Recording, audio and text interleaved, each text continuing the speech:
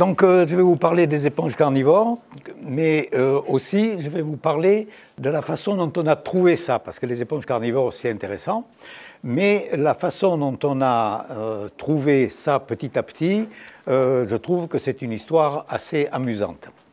Parce que les, éponges, normalement, ça sert à se laver, c'est un animal filtreur. Hein, voilà, euh, une éponge, euh, ça c'est ma salle de bain à Marseille. Et ça c'est euh, l'animal qui était dans la grotte de Rioux à 30 mètres quelques jours auparavant. Il faut le nettoyer et c'est le squelette qui sert comme éponge de toilette et l'éponge de ménage en général. Mais les éponges, ça a beaucoup d'autres utilisations, d'autres caractères. Et l'essentiel, c'est que ce sont des animaux filtreurs ça filtre, là c'est montré par de la fluorescéine qu'on a déposée sur les bords de l'éponge et qui est filtrée puis rejetée. Et l'éponge se nourrit en euh, filtrant cette eau et en retenant les particules qui sont dedans, et en particulier les bactéries et tous les micro-organismes, et c'est ça qui lui sert de nourriture. Bon, alors je suis obligé de vous montrer un peu comment ça fonctionne réellement une éponge, parce que vous allez voir, les éponges carnivores, c'est tout à fait différent et vous ne savez peut-être pas exactement comment fonctionne une éponge. Alors une éponge, voilà, euh, c'est un organisme filtreur, donc il y a de l'eau qui rentre par de petits orifices sur les côtés. Cette eau est aspirée dans un système de canaux. Ici, il y a des petites euh, pompes qui sont faites de cellules avec des flagelles et qui filtrent l'eau et qui la mettent en circulation et qui retiennent les bactéries. L'eau, une fois filtrée, est rejetée par un grand oscule, un grand orifice exhalant qui s'appelle l'oscule. Et le tout est maintenu par un squelette. Et ce squelette, en général, est fait de spicules en silice ou en calcaire. Chez l'éponge commerciale, c'est fait en fibre de spongine, une espèce de collagène, mais chez la plupart des éponges, ce sont des spicules.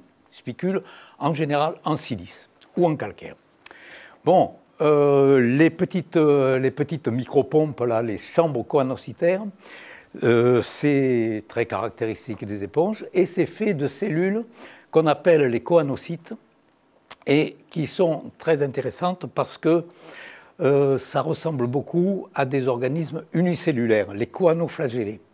Ça possède un flagelle, c'est le flagelle qui fait circuler l'eau, et une collerette de petites villosités qui retiennent les, particules. Ici, vous avez euh, deux, bactéries qui ont été retenues par la collerette et qui vont être phagocytées par le corps de l'éponge et digérées. Alors, c'est très intéressant ça parce que ça ressemble beaucoup à des organismes unicellulaires qui s'appellent les coanoflagellés et qui ont exactement la même organisation, la même forme. Et ça a fait penser vers 1900 euh, que finalement les éponges, ça pourrait être les premiers animaux pluricellulaires, c'est-à-dire une colonie de coanoflagellés qui s'étaient organisés, qui se sont euh, spécialisés plus ou moins et qui ont fait les premiers organismes pluricellulaires qui ont survécu de nos jours. Euh, c'était une jolie hypothèse, comme ça, c'était basé sur la morphologie. Et maintenant, on a essayé de voir par les phylogénies moléculaires si c'était vrai. Et bon, c'est encore discuté parce que la phylogénie moléculaire, c'est jamais très, clair. Et il y a des gens qui discutent, mais en gros, la majorité des chercheurs actuellement considèrent qu'effectivement, les éponges sont les premiers animaux cellulaires qui aient survécu jusqu'à présent. Alors ça veut dire que c'est des animaux très simples, mais ça veut dire aussi que c'est des animaux qui sont très évolués. Ce sont ceux qui évoluent depuis le plus longtemps. Ça fait 600 millions que les éponges évoluent. Elles ont eu le temps de bien s'adapter au milieu, et il semble qu'en particulier, elles aient eu le temps de devenir carnivores. Bon, c'est très simple, il n'y a aucun organe, il n'y a pas de foie, pas de rate, rien du tout, et au point de vue intellectuel, c'est pas terrible non plus. Euh, il n'y a, a même pas de cellules nerveuses. C'est tout dire. Alors que dans les coraux, qui sont des organismes simples, les coraux, les méduses, il y a quand même quelques cellules nerveuses. Là, même pas. Donc, euh, comment on a fait pour euh, devenir euh, carnivore Terrible? Comme ça, voilà une éponge carnivore d'un millimètre mais ses, dents, en quelque sorte, ressemblent beaucoup aux canines du lion.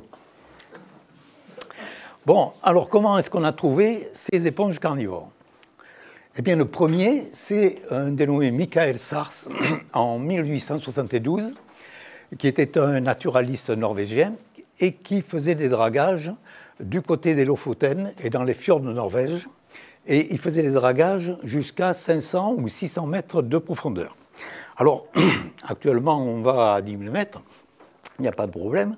Mais en 1872, c'était juste quelques années après qu'on ait démontré que les, grandes profondeurs océaniques n'étaient pas complètement azoïques, qu'il y avait des animaux dedans. Et les moyens techniques n'étaient pas très commodes pour draguer à, 600 mètres.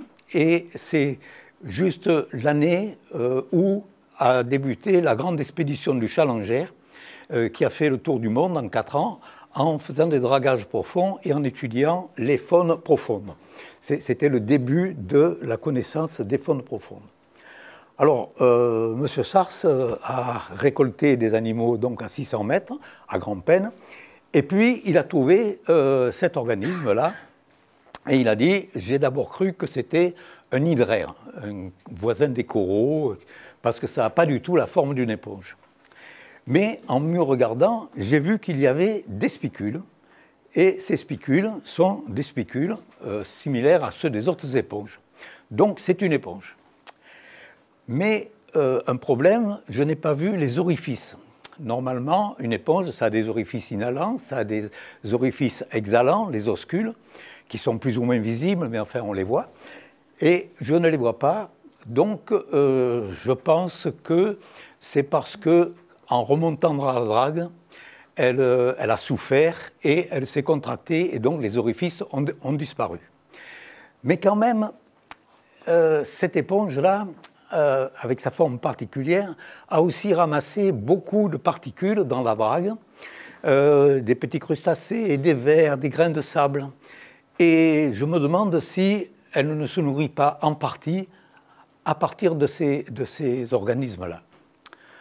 Et puis, c'est pas aller plus loin. Euh, les années d'après, l'expédition de Challenger a remonté beaucoup de, une, vingtaine d'éponges de la même forme, très profonds aussi. Et les, chercheurs qui les ont décrites, qui étaient à cette époque-là, les gens étaient très polis. Hein, ils ont dit l'hypothèse de Michael Sars qu'elle se nourrit de, sable, c'est très invraisemblable. Et on en est resté là. Et puis voilà que nous, euh, à la station marine, on travaillait euh, pas mal sur les grottes sous-marines depuis assez longtemps. Et euh, pourquoi les grottes sous-marines? Ben, Parce que c'est un milieu qui est assez particulier. À l'entrée des grottes, c'est très riche, mais quand on entre vers les profondeurs, dans les endroits les plus sombres, on se trouve dans des conditions qui rappellent un peu celles des grandes profondeurs.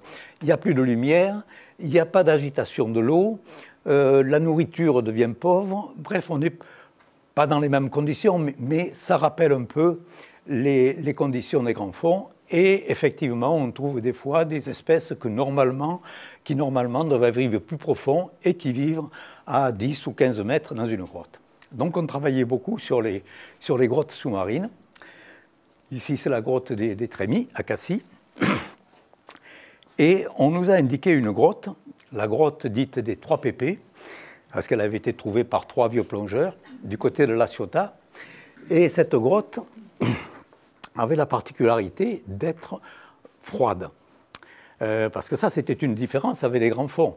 Les grands fonds en Méditerranée, euh, c'est relativement chaud, mais c'est 13 degrés toute l'année. Et euh, en surface, on a 13 degrés aussi en hiver.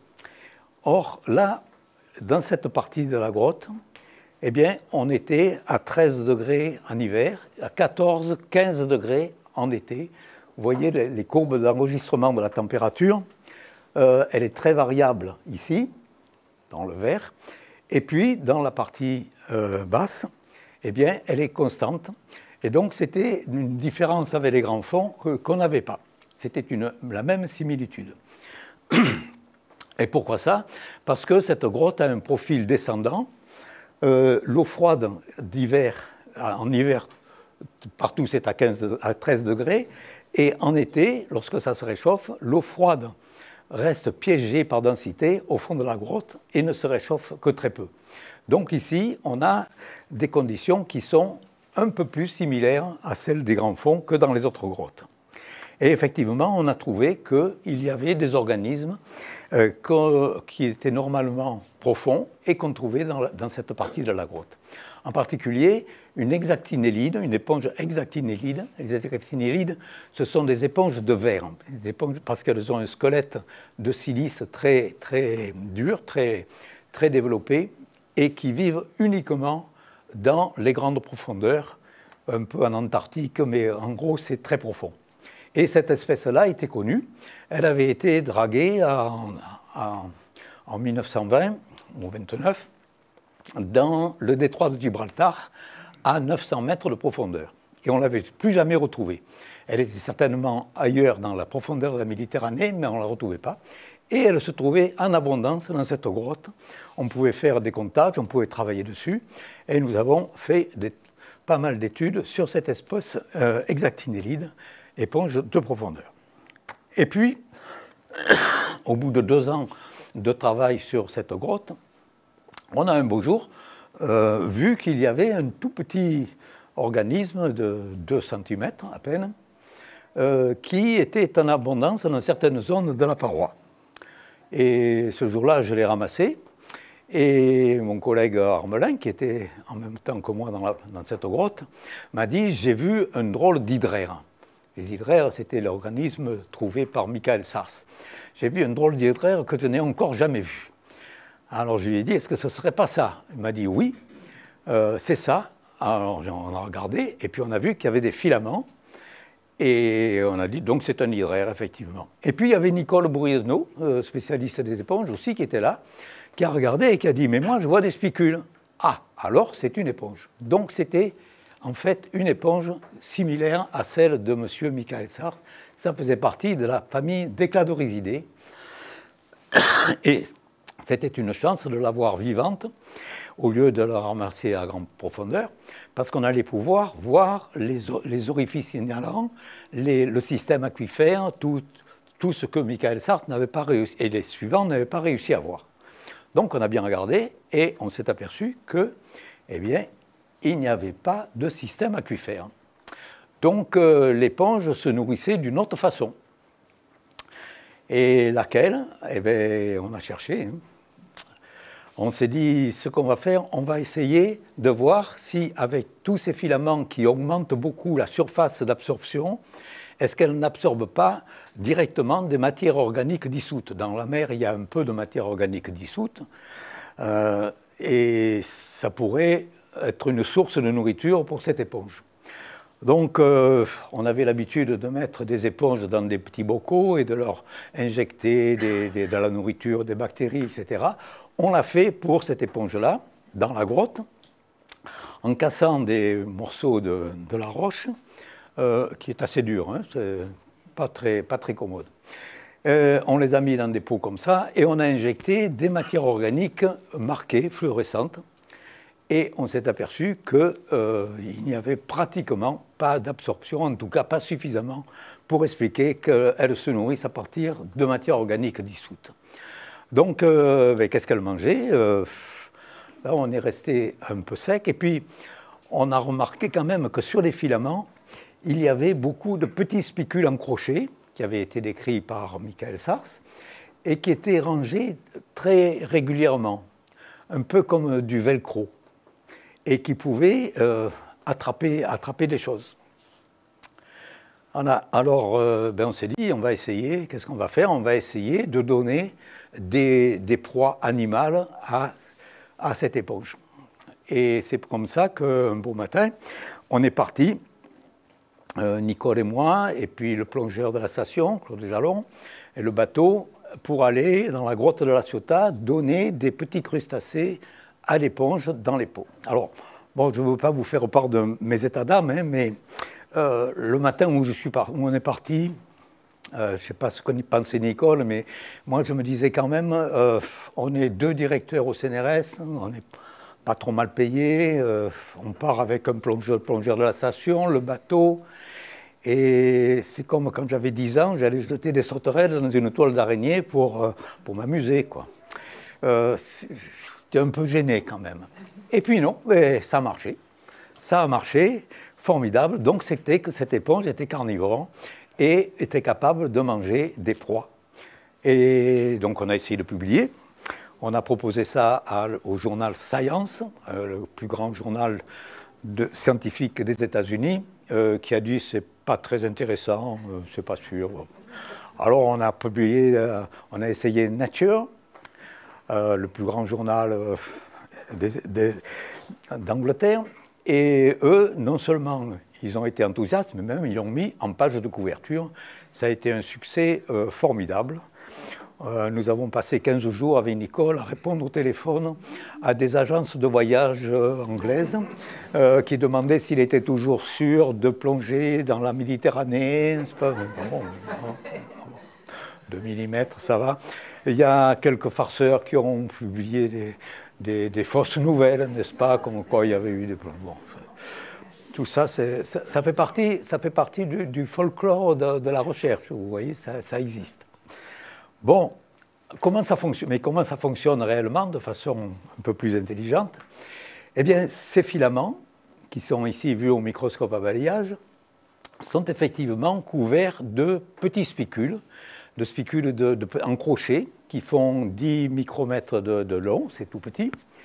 Et quand il y a un crustacé qui passe, ou une annélide, enfin un animal avec des poils, des cheveux, il se prend là-dedans comme dans du velcro et il ne peut plus se dégager. Là, euh, vous voyez l'œil à facettes de cette pauvre hémimisis après 15 minutes de, capture. Euh, je pense qu'on doit pouvoir distinguer une lueur euh, de désespoir. Là, elle est vraiment. C'est assez. Plus elle se débat, plus elle va se prendre dans des filaments et donc elle est piégée et incapable de se, de se dépasser. Voilà les, petits spicules, petits spicules qui sont connus dans d'autres éponges non carnivores, mais alors là, euh, ils ne servent à rien, ou du moins on ne sait pas à quoi ils servent. Ils, servent à nous aider à déterminer les éponges parce que c'est très précieux pour la détermination, l'identification, mais autrement, physiologiquement, on ne connaît pas leur, usage. Eh bien dans les éponges carnivores, ils ont trouvé ce rôle pour piéger les, les, soies des crustacés. Et voilà la même crevette, Mimisis, après 16 heures de capture, parce que là, il va se poser un problème aussi. Il ne suffit pas d'attraper la proie, mais il faut aussi la digérer. Euh, chez les coraux, on attrape une proie, et, puis après, on la digère dans une cavité digestive. Il y a une cavité digestive avec des enzymes qui sont sécrétées, il y a des cellules qui tuent la proie, etc. C'est organisé pour ça. Les éponges n'ont pas de cavité digestive. Euh, comment faire? Eh bien, c'est simplement l'action individuelle. Chaque cellule euh, sait qu'il y a une proie qui a été capturée et chaque cellule, individuellement, va migrer vers la proie et la recouvrir. Et voilà, au bout de 16 heures, cette pauvre crevette, dont les yeux, euh, on ne voit plus les facettes, ça a été recouvert par un voile de cellules qui sont les cellules de l'éponge. Euh, voilà le, déroulement des, choses. Cinq minutes, les proies sont attrapées. Au bout de 14 euh, heures, eh vous voyez que les filaments commencent à régresser. 26 heures, il n'y en a plus beaucoup.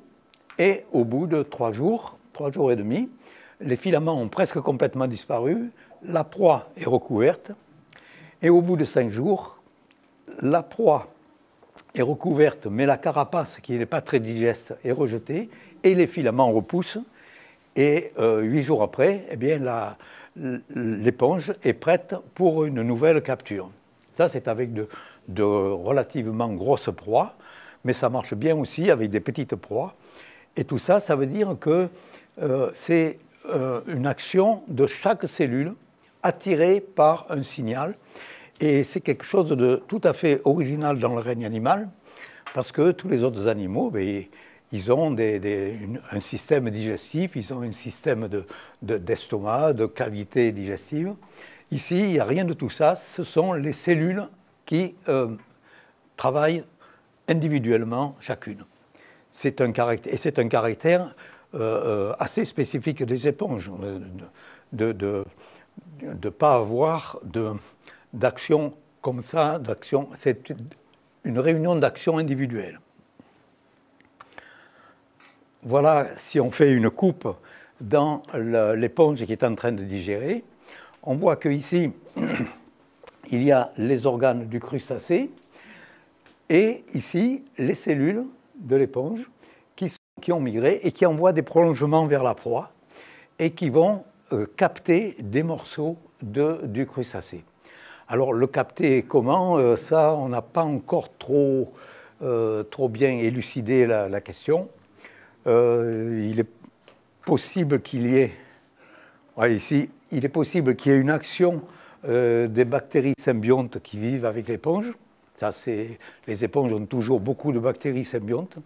Et ces, bactéries, ben, il se peut qu'elles fabriquent des enzymes digestives. Euh, on a vu qu'elle était capable de fabriquer en particulier des chitinases qui vont dissoudre la chitine des crustacés. Et euh, ici, on voit dans une cellule un fragment de muscle de crustacé qui a été évidemment phagocyté, et là d'autres fragments de crustacés qui sont en train d'être digérés. Donc c'est bien comme ça que euh, cette éponge se nourrit. Alors, à partir de quoi elle se nourrit? On, a surtout travaillé avec des crustacés, mais ici, c'est avec un pycnogonide qui a été digéré. Et ici, c'est avec un moustique que je lui ai délicatement euh, glissé. Et elle l'a capturé, elle l'a digéré. Il n'y a, pas de moustique dans l'océan, hein, mais elle l'a quand même apprécié. Euh, et dans les grottes, euh, avec quoi elle se nourrit? Ben, Dans les grottes, il y a beaucoup de, crustacés dans certaines grottes, des mysidacées, qui sont euh, à l'intérieur de la grotte durant la journée, à l'abri, et qui la nuit sortent pour aller se nourrir à l'extérieur, et qui à l'aube rentrent dans la grotte.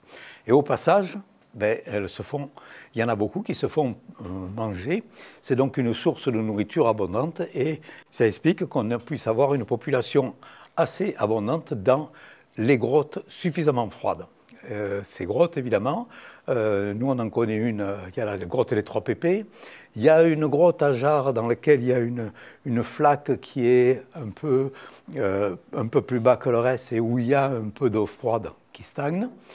Et puis on en connaît une en Croatie. Des, des, collègues ont trouvé une grotte qui a la même topographie, qui a la même structure d'eau froide et qui a aussi cette éponge carnivore qui vit là. Euh, un autre problème, c'est comment se reproduire. Parce que les éponges, normalement, euh, ça émet des spermatozoïdes, ça émet des ovocytes, ou ça émet, quand c'est vivipare, ça émet des larves, mais tout ça, ça sort par les canaux, par les canaux et par l'orifice. Là, il n'y en a pas. Et bien, par exemple, comment on va faire pour faire des, pour, faire des spermatozoïdes? Eh bien, on fabrique les spermatozoïdes euh, dans des cystes à l'intérieur du corps, et puis ces cystes migrent le long des filaments. C'est ce qui explique les petits grains que vous voyez blancs, ou que vous ne voyez pas parce qu'ils sont petits, sur les filaments. Ce sont des spermatocystes, des amas de spermatozoïdes, ici, qui sont ici, là, et entourés de cellules. Et qui sont bordés par des spicules en forme d'épingle à cheveux qu'on ne trouve que là, dans les spermatocystes, et qui servent d'une part à l'équilibrage des, spermatocytes, lorsqu'ils sont libérés, qui vont flotter au gré de l'eau en étant équilibrés, et qui vont se prendre dans les, filaments d'une autre éponge, une femelle de préférence, euh, grâce aux spicules encrochés et la féconder là aussi, il a fallu inventer quelque chose euh, qui n'existe absolument pas chez les autres éponges. Bon, je pense que vous avez compris comment marche euh, cette euh, éponge qu'on avait appelée Asbestopluma, puis finalement, il faut l'appeler Lycopodina hypogea. On a changé le nom. Mais comment ça fonctionne chez les autres et est-ce qu'il y en a d'autres? Alors, après cette cette étude de Lycopodina hypogea, il y a eu beaucoup de travaux qui ont été effectués par les engins profonds, non seulement des dragages, mais aussi des engins d'observation. Et lorsque nous avons découvert Lycopodina, c'était en 1995, euh, on connaissait à peu près 80 espèces différentes d'éponges carnivores vivant dans les grandes profondeurs. Mais on ne savait pas qu'elles étaient carnivores. C'est là que nous avons montré qu'elles étaient elles aussi carnivores. Et euh, ça a beaucoup euh, remué les gens. Et il y avait des tas de gens qui avaient ramassé les éponges carnivores, mais qui ne les étudiaient pas. Et les études se sont développées. Et maintenant, on en est à près de 150 espèces euh, différentes d'éponges carnivores vivant dans les grandes profondeurs. Et comment elles se présentent Il y a quand même une grande diversité. Voilà par exemple celle-là euh, qui, a été trouvée dans le Pacifique et récoltée par, par un engin et qui a une forme assez différente, mais toujours avec des filaments qui sont euh, garnis de ce revêtement de spicules qui les rend adhésifs. Euh, celle-là, je l'ai appelée Asbestopluma formosa parce que j'ai trouvé qu'elle était belle, ça veut dire jolie. Euh, voilà ces spicules. Il y a des spicules, ces grandes spicules, ce sont ceux qui font l'axe des filaments, parce que les filaments, il faut qu'ils tiennent droit quand même. Donc il y a un axe de longues spicules à l'intérieur et des spicules en qui sont différents de ceux de notre Lycopodina. En voilà une autre qui s'appelle Abyssocladia et qui est en forme de disque, on dirait une, marguerite, une fleur. il y en a plusieurs, qui sont, plusieurs espèces qui sont comme ça dans cette, de cette forme-là. Et toujours le même système. Alors bien entendu, on n'a pas vérifié chez toutes qu'elles euh, étaient capables d'attraper des proies. Mais euh, il n'empêche qu'elles ont toutes la même organisation et de temps en temps, on trouve un petit... Euh, en général, ce sont des, crustacés parce que c'est ça qui est le plus, facile à attraper et le plus répandu dans les grands fonds. Voilà les différents types qu'on connaît actuellement. Voilà les différents types de formes. Et il faut s'arrêter un peu, c'est sur celle-là. Parce que vous voyez, c'est pas très gros, hein, tout. Il y a celle-là qui doit faire une 30, 40, 50 cm de haut. Bon, c'est un, un, géant. Mais il y a plus grand que ça. Il y a en particulier celle-là, euh, qui s'appelle Chondrocladia. Alors ça, c'est, un animal que les, les pilotes de sous-marins euh, connaissaient bien. Euh, les, zoologistes pas trop, parce qu'il n'y avait pas beaucoup de zoologistes finalement qui plongeaient avec les sous-marins, c'était surtout les géologues, parce qu'on cherchait du pétrole. Et bon, les géologues, euh, ça ne les intéressait pas. Par contre, les pilotes, qui voyaient assez souvent euh, cet organisme-là, eh ils disaient qu'est-ce que c'est? On l'appelle l'arbre à boules, le lampadaire, le ping-pong tree pour les, anglo-saxons. et puis on ne savait pas ce que c'était. Et un beau jour, euh, il y a un sous-marin russe, qui est le Mir, qui a récolté, euh, qui en a récolté une, qui l'a remontée, et on s'est aperçu que une fois que les boules étaient euh, écrasées, eh bien, c'était cet organisme-là qu'on connaissait assez bien. On l'avait appelé Chondrocladia, il y avait plusieurs espèces connues, et c'était donc l'arbre à boules était une Chondrocladia, et c'était vraisemblablement une éponge carnivore, car sur ces sphères gonflées, il y avait les spicules en crochet qui étaient régulièrement répartis. Et on a trouvé plusieurs autres euh, euh, chondrocladia différentes. Celle-là n'est pas encore décrite. Et celle-là a été décrite par notre collègue Reiswig. Il a appelé chondrocladia lyra, euh, c'est une, bête magnifique, et puis c'est grand, hein, ça, fait, presque un mètre de... Et chaque tige est terminée par une boule euh, revêtue de spicules qui servent à attraper les proies. Et comment ces, boules sont, gonflées eh c'est là que ça devient aussi très intéressant. C'est que les, autres éponges carnivores ont abandonné le système de filtration parce que ça leur sert à rien. Et là, elles ont gardé des chambres conocytaires, des canaux, et ces chambres ne servent plus à filtrer l'eau, mais servent simplement à envoyer de l'eau, à gonfler ces, boules pour, euh, euh, pour, faire le piège euh, qui va leur servir, qui va leur servir à attraper les proies. Voilà les chondrocladia. Alors ça, c'est les, voilà, les différents types de spicules spéciaux pour la capture des proies. Vous voyez que c'est finalement euh, très variés et ça nous permet de, distinguer différentes espèces. Et il faut quand même admirer l'efficacité de ces. Regardez, par exemple, celle-là, ce, euh, ce spicule-là, qu'on connaît chez des éponges non carnivores et qui euh, s'est adapté à, au genre Eucalipluma et qui euh, sert à attraper les proies, avec ici, peut-être, euh, je ne sais pas si vous voyez bien, mais des petits, des petits crochets secondaires qui vraiment empêchent les soies de, de, s'évader. C'est vraiment fait pour attraper, attraper des, des, des, proies.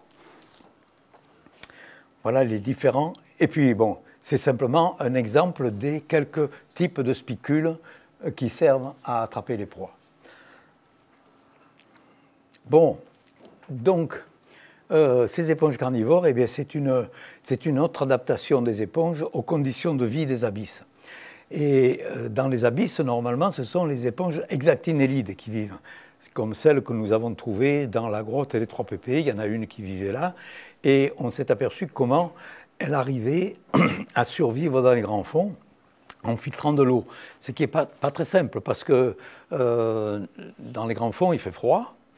Euh, l'eau est sous pression. Euh, ça gêne pas les éponges, ça gêne pas trop, mais ça gêne un peu parce que ça rend l'eau un peu plus visqueuse. C'est plus difficile de filtrer de l'eau à 6 000, 7 000 mètres qu'en surface. Et donc euh, une plus grande difficulté à filtrer de l'eau et beaucoup moins de microbes dans l'eau. L'eau des grands fonds est quand même en général euh, moins euh, riche en microbes. Donc, pas, beaucoup, pas beaucoup de choses à bouffer. Et à partir de 5 ou 6 mm, eh bien, les exactinélides, on n'en trouve plus. Alors que les éponges carnivores, eh bien, il y en a une qui ressemble beaucoup à celle de la grotte des trois pépés, une Asbestopluma, euh, qui a été récoltée à 8900 et quelques mètres.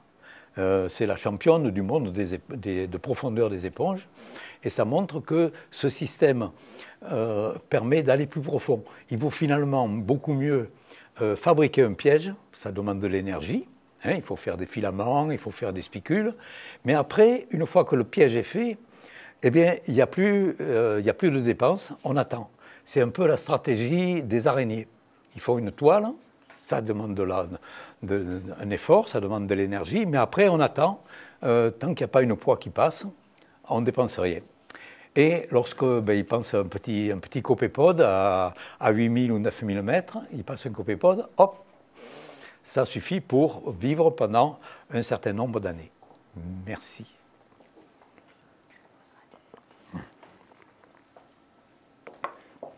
Voilà, donc euh, une, façon de vivre qui permet euh, d'aller beaucoup plus profond que les autres éponges. Bon, la diversité aussi est bien plus grande que ce qu'on attendait et on en trouve tous les jours. On en a actuellement avec une collègue de Nouvelle-Zélande, j'en ai une dizaine qui attendent d'être décrites. Euh, comment ça a dérivé à partir des éponges normales? Eh bien ça, euh, il y a une famille d'éponges normales qui ressemble beaucoup, qui est assez proche, mais, quand même différente. Et ça, ben, on essaie de voir un peu avec la, biologie moléculaire qu'est-ce que ça peut donner. Euh, le plan d'organisation aussi est très original chez les animaux. on ne connaît pas d'autres macrophages sans tractus digestif, sauf peut-être c'est des parasites, mais qui sont vraiment très, très dérivés. Et ce, plan d'organisation, c'est très intéressant à étudier. Et une chose que j'ai oublié de, vous dire, c'est que après avoir fait des expériences dans la grotte pour vérifier qu'elle ne mangeait pas des matières organiques, qu'elle était carnivore, etc., on s'est aperçu qu'en la mettant en aquarium, euh, eh bien, elle tenait très bien le coup. Alors que les, éponges, en général, en aquarium, il n'y a pas beaucoup d'espèces qui résistent longtemps. Et là, en mettant euh, ces éponges dans un bac, à condition de casser le caillou, de les transporter avec le caillou de façon à avoir la base de fixation intacte, euh, à condition de casser le caillou, les mettant dans un petit bac euh, et les maintenant à 13 degrés, ce qui est très facile, eh bien, on peut les tenir plusieurs années. De changer l'eau une fois tous les, tous les 3 ou 4 mois, euh, pour pas que la salinité augmente trop, de leur donner à manger des nauplies d'artémia, ce qui se fait beaucoup pour les poissons d'aquarium, c'est très facile à faire éclore et à donner à manger. Et on leur donne à manger tous les, tous les 15 jours ou 3 semaines ou, un mois, c'est pas, pas très exigeant. Et là, elles vivent plusieurs années et même elles se reproduisent dans le bac.